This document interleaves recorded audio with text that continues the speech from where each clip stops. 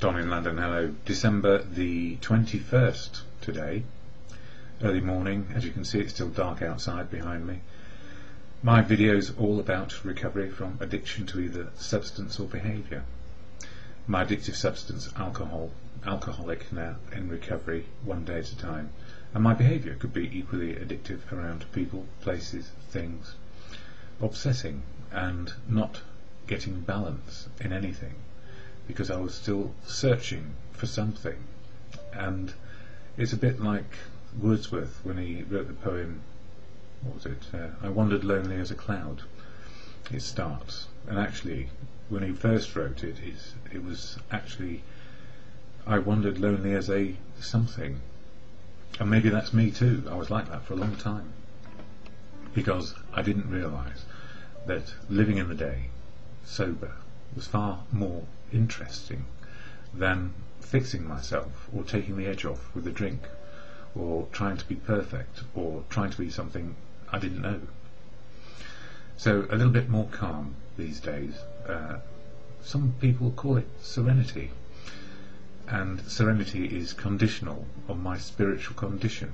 And my spiritual condition is living in the moment of now as much as possible, not going over the past, raking it up, in an inappropriate way or fantasizing about what the future may hold. I've only got one day, this one. So what helps me stay in recovery one day at a time? First of all, uh, family, professionals, medical people kept me alive long enough to get to rock bottom where I could not see any way out with self-will or my own willpower and almost like a light bulb going off in my head although that's a very difficult one to do to say really I needed help. I cannot do it on my own. And then fellowship came into my life, and that was the fellowship of AA, Alcoholics Anonymous. And I never speak for AA, never can, never will, because it's full of unique, authentic people who will speak for themselves where they will. And I share about uh, fellowship, I don't share particulars of anybody else. I just share how fellowship helps me on a daily basis to keep sober and some of the literature which is available when I can't get to meetings like yesterday. I had flu jabs, or a flu jab and a pneumonia jab, immuni immunisation, which is treating like with like in a way. So I have some of the symptoms which are very achy, and because it's icy out, good sense says stay in when I would really like to see my fellows and my friends in recovery. So sensibility comes into it, and that's about balance. So the Fellowship of AA helps me and has helped me with the 12 steps for me to work as a person, 12 step action program, all about action to live well one day at a time. And there are 12 traditions in the fellowship which hold it together in unity, service and recovery. So open, honest and willing living as much as possible knowing that on any day denial can come in. I can't believe my situation, I can't go out to a meeting because it would be silly. But my head says, I want to go to a meeting to see my friends. So I have to temper my actions with reality and what is possible. Might, might seem like a simple analogy, but that's how it works. Doing the sensible thing. Doesn't mean it's not exciting, because often the exciting thing to do is the sensible thing to do. To have an adventure of some sort on a daily basis, and I guess that's what fellowship does for me as well. So what is AA? I share here from this little card which has the AA preamble on it, and then I'll share some of the daily reflections and a bit more from the big book of AA around acceptance being the key. So, here we go. Alcoholics Anonymous is a fellowship of men and women who share their experience, strength and hope with each other that they may solve their common problem and help others to recover from alcoholism. The only requirement for membership is a desire to stop drinking.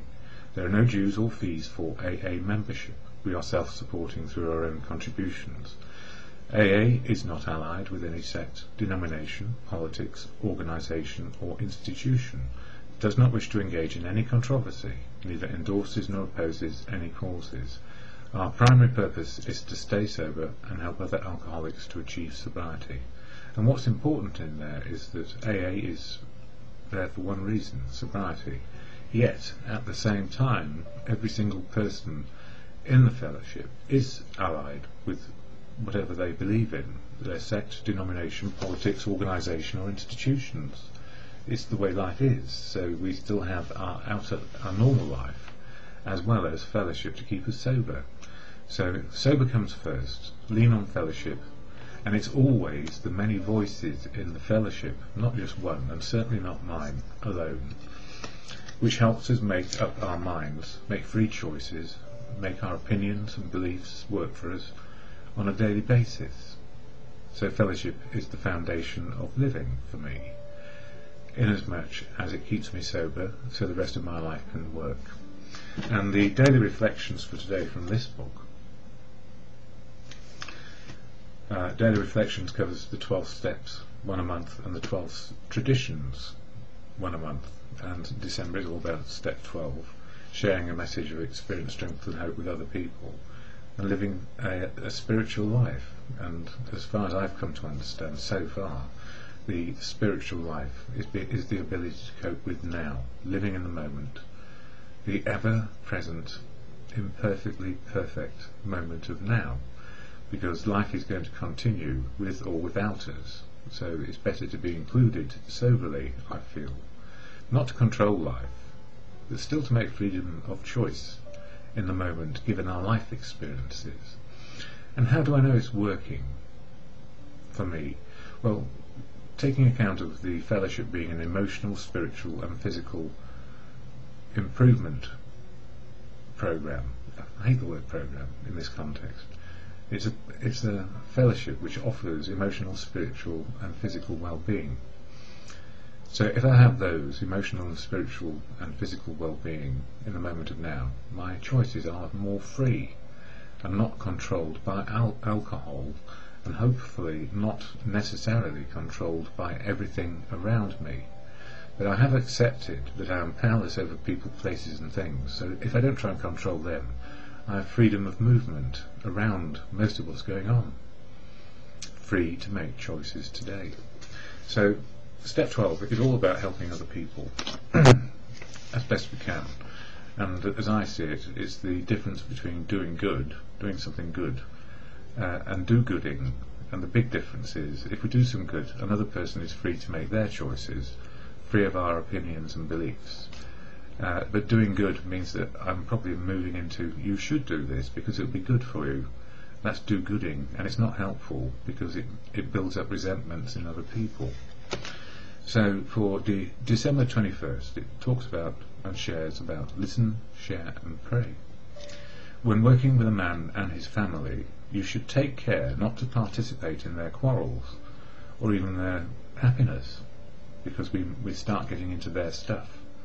You may spoil your chance of being helpful if you do. So in other words, detachment in a way. All you're there to do is help the person get sober, not become uh, their vicar or their priest or their advisor, because that is really not what we're there to do. It's to share a message of what works in sobriety to help us be free to make our choices well, in an open, honest way, and find truth, love and wisdom. When trying to help a fellow alcoholic, I've given in to an impulse to give advice. Yeah. And perhaps that's inevitable, but allowing others the right to be wrong reaps its own benefits. The best I can do, and it sounds easier than it is to put into practice, is to listen, share personal experience, and pray for others. And, you know, whether, whatever our beliefs are, are formed by our life experiences. So some people on the planet believe in God because that's what they've come to believe. Some people are agnostic or atheist, and some people have been all those things in their lives, depending on their life experience. So we make up our own minds around faith, praying, meditation, reflection. The good news is, whether we pray and reflect to whatever the higher power we choose, the gift is always to get clarity of mind about our own purpose today, to live as best we can, in the circumstances we have and then to put it into action. It's all about action always in the fellowship. It's not about standing back and watching, but sometimes we do because we stand back and listen and listen to the experience, strength and hope of our fellows. And if we hear something which is absolutely good for us, we can take it on board. And if it's absolutely against our belief and our choices, then we don't take it on board. But we don't criticise others for their outlook. It's a fellowship of unique, authentic people staying unique and authentic. And we lean on each other because if we try and keep sober leaning on one person, if we go downwards, we're probably likely to take the other person with us. So we try not to do that by keeping it a fellowship where we lean on, lean on the many, the many voices in the program or the fellowship of AA who are staying sober, and especially sometimes when they're not sober because they've hit something in life which has caused a relapse or a slip. And that can happen to anybody at any stage in their spiritual living. We have to face facts. You know, whilst we may say rarely have we seen a, pale, a person fail who has thoroughly followed our path, sometimes the life path is so difficult we fall by the wayside. Well, anyway, I haven't done that for some time, in fact some years. But I do know that life can get on top of anybody, and if I don't go to fellowship and keep on listening, I might be in trouble. So, daily reflections, I'm finishing that bit now, and followed by the serenity prayer, and then the acceptance piece follows. So, to good God or good conscience, depending on your belief system, the serenity prayer or the serenity reflection can help you to God or good conscience. And it goes like this God, grant me the serenity to accept the things I cannot change, courage to change the things I can, and the wisdom to know the difference for me is just for today. And now, if uh, you haven't switched off already, uh, from the AA Big Book, there's a passage on acceptance which pretty much everybody who's been around a while in AA knows. And it's one paragraph. And uh, I'll read the paragraph, and then I want to just read the bit before it as well. So I can read the paragraph twice because it's, a, it's great. It's one of those things I don't want to forget ever in my life. So page 1417 in my great big book, this one, which comes in smaller, handier pocket sizes as well. Page 417, and acceptance was the answer. And acceptance is the answer to all my problems today. When I am disturbed, it is because I find some person, place, thing, or situation, some fact of my life, unacceptable to me and I can find no serenity until I accept that person, place, thing or situation as being exactly the way it is supposed to be at this moment. Nothing, absolutely nothing, happens in God's world by mistake. Until I could accept my alcoholism, I could not stay sober. Unless I accept life completely on life's terms, I cannot be happy. I need to be I need to concentrate not so much on what needs to be changed in the world as on what needs to be changed in me and my attitudes. And when I read that, it was one of those passages which really st struck home in my early days, and I love it. Whenever it's read out at a meeting as a person's choice before they do their sharing, I sigh with relief that there is a part just before, which sort of puts it in context, and I'd like to share that, and it comes from 415 onwards. Eventually, the psychiatrist discharged me from the hospital, and Max and I began going to meetings ourselves. Right from the start, I felt that they weren't doing anything for me, but they sure were helping Max. We sat back, we sat in the back and talked only to each other. It was precisely a year before I spoke at an AA meeting. Although we enjoyed the laughter in the early days, I heard a lot of things that I thought were stupid. I interrupted sober as meaning interpreted. There you go, slip of the word. I interpreted sober as meaning drinking but not being drunk. When a big healthy looking young fellow stood up there and said, I'm a success today if I don't drink today, I thought, man, I've got a thousand things to do today before I can brag about not taking a drink for God's sake. Of course I was still drinking at the time. Today there is absolutely nothing in the world more important to me than my keeping this alcoholic sober. Not taking a drink is by far the most important thing I do each day. It seemed that they all talked about, all they talked about at meetings was drinking, drinking, drinking. It made me thirsty. I wanted to talk about my many big problems.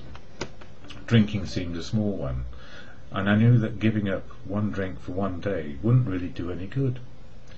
Finally, after seven months, I decided to try it. To this day, I am amazed how many of my problems, most of which had nothing to do with drinking, I believe, have become manageable or have simply disappeared since I quit drinking. I had already given up all the narcotics, most of the pills and some of the alcohol when I first came to AA. By early July I had tapered off alcohol completely and I got off pills in the ensuing few months.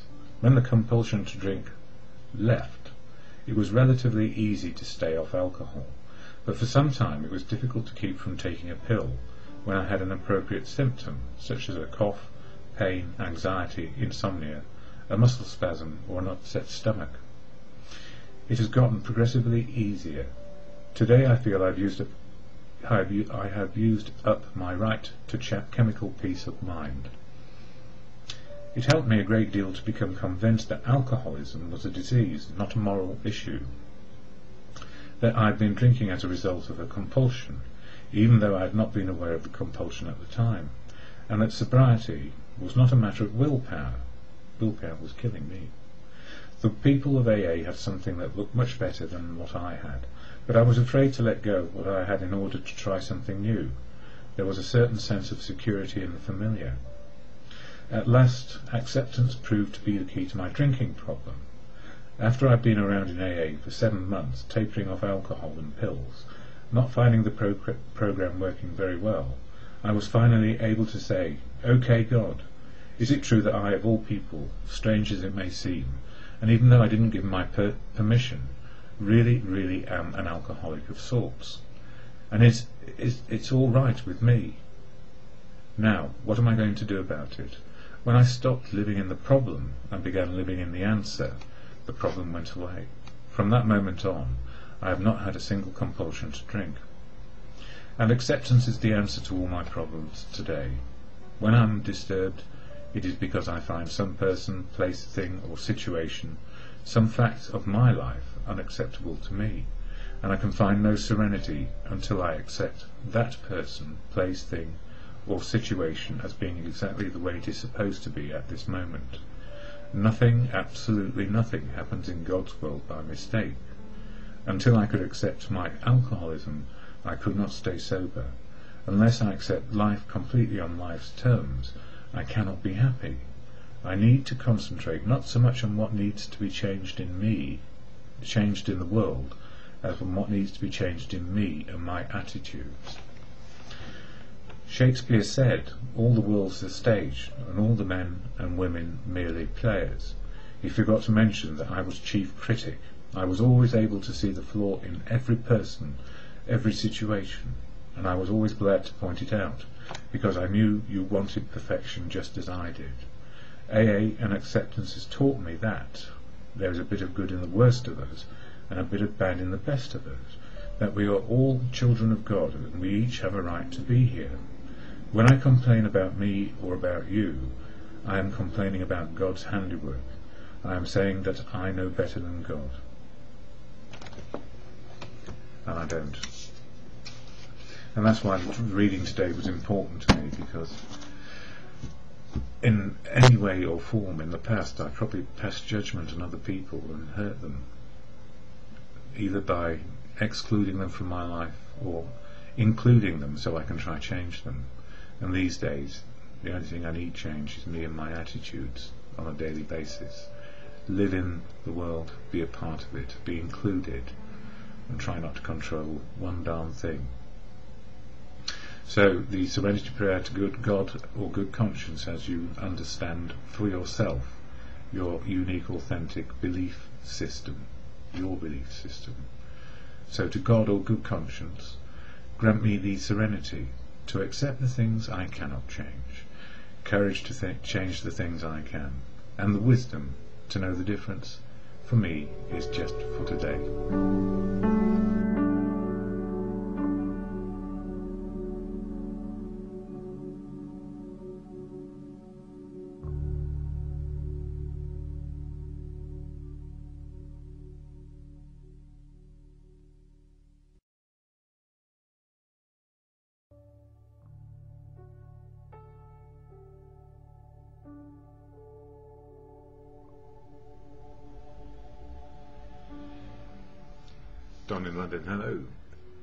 21st, 2009. My video is all about recovery from addiction to either substance or behaviour. My addictive substance, alcohol, my behaviour, quite addictive to work, relationships, collecting, material, you name it. I could I could do it and do it to excess because I believed in perfection, I guess. All my upbringing was about do I like it because it took the edge off it made me feel joyful, happy, sleepy, relaxed, entertained, sad, unhappy, hateful, loving, you name it, every emotion seemed to be available to me when I drank. And it did take the edge off. And what it tended to do was when I wasn't drinking, suppress my feelings, emotions, and understanding of life. So I never really understood what was going on with my feelings and the primary one inside me often was fear. Fear of being found out, fear of being less than other people, hence the striving to be perfect, and never so, never perfect. And what I've learned now in a journey of recovery, which is a, a quite a while, an acceptable length of time to actually get some sort of understanding and perspective, is that I can understand my feelings as they are today, just for today and no more. So what helps me do this? Well, family, friends, community, professionals kept me alive long enough. And I even went to a rehab, and uh, it was £25 a day, which is about $50 or less, $30 a day. So it was a very utilitarian rehab. But what it did afford me was the luxury, as a homeless person, to actually have a roof over my head, be tormented by community groups and one-to-one sessions. And I mean tormented, because I was a very reluctant student. And at the same time, it gave me the opportunity to go to meetings of the Fellowship of AA, Alcoholics Anonymous. And the difference between rehab and AA was, rehab, rehab felt very unloving, very predatorial, very uncomfortable. But AA meetings offered sanctuary to be me, to be myself, and not be tormented by those inner demons which were being, I suppose, winkled out of me when I was in rehab. But I've done it all before. And the problem is, if we've done all the theoretical, intellectual, you name it, the thinking process of, yes, I know why I'm the way I am, and why you're still digging down into me, without giving me the opportunity to deal with the anger, the frustration and the, the denials that have gone, gone on over the years, what sort of action will I do? Well, I self-discharged and ran away, went to the nearest bar and off licence and got loaded. But the AA fellowship offered a way out, and although the journey was rocky, and believe you me, being homeless is not a, is not a good state to be in, especially if you're not designed for it, and I don't think anybody is, we have to find our path. And eventually I got back to going to AA, got a roof, over my head. It was pitiful and horrible, but at least it gave me the opportunity to try sober living. And it took a long time to understand that I couldn't do it on my own. So, fellowship keeps me sober. That's the fellowship of AA. If I'm not sober, I can't do the rest of my life. So, sober is first, and that sounds harsh, but it has to be. So I can love people, and they can love me back because I'm human again, and I can find something useful to do. So what is the Fellowship of AA, and how does it help me? Well, I'll share the statement of intent here, and it goes like this. Get it the right way up. Alcoholics Anonymous is a fellowship of men and women who share their experience, strength and hope with each other that they may solve their common problem and help others to recover from alcoholism. The only requirement for membership is a desire to stop drinking. There are no dues or fees for AA membership. We are self-supporting through our own contributions. AA is not allied with any sect, denomination, politics, organisation or institution. It does not wish to engage in any controversy, neither endorses nor opposes any causes. Our primary purpose is to stay sober and help other alcoholics to achieve sobriety. So only one requirement for membership, a desire. Only a desire to stop drinking and then to share the message. And that's what I try and do here. And I do it because It helps me and it also helps people who can't get out to meetings. And December is all about the 12th step of the program, 12 steps of action for individuals. And you know the, the gift is that uh, we need to do them all in a day if we can, if they're appropriate and if they are applicable. And there's a, a book called The 12 Steps and 12 Traditions. And in this, in the final 12th step chapter, it gives a summary of the 12-step action program. And I like it, I love it, because it sums up in a few words, and I've just about got time to do them here. So these are the 12 steps. Page 110. AA's manner of making ready to receive this gift lies in the practice of the 12 steps in our program. So let's consider briefly what we've been trying to do up to this point. Step 1 showed us an amazing paradox. We found that we were totally unable to be rid of the alcohol obsession until we first admitted that we were powerless over it.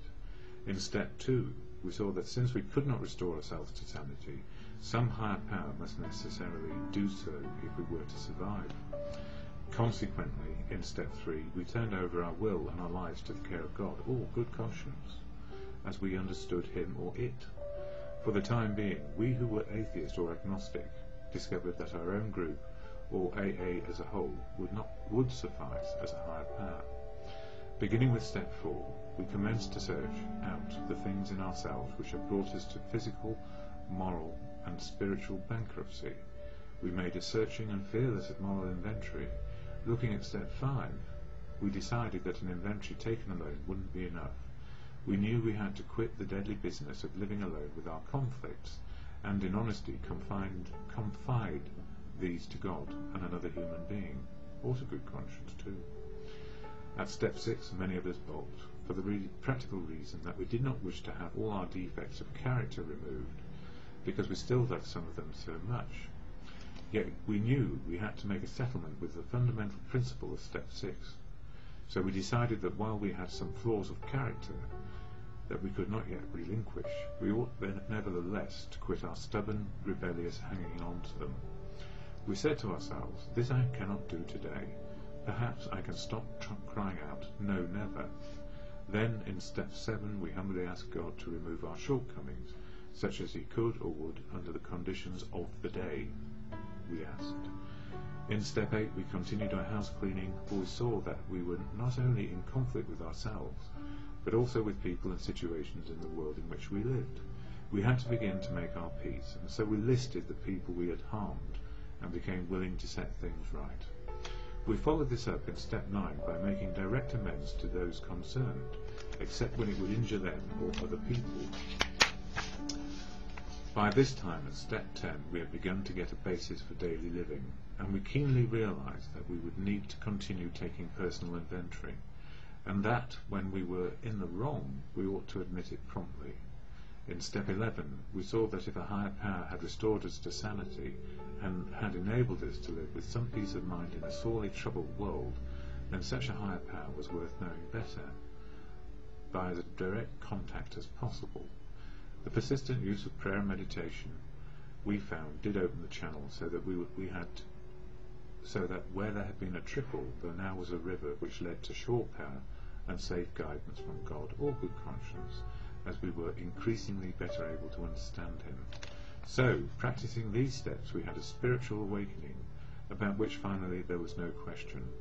Looking at those who were only beginning and still doubted themselves, the rest of us were able to see the change setting in.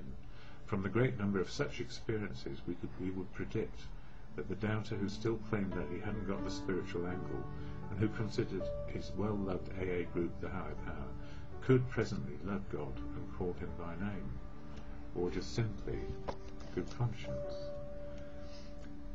And in uh, in the end of these videos, although I haven't got very much time, I just say the serenity prayer to God.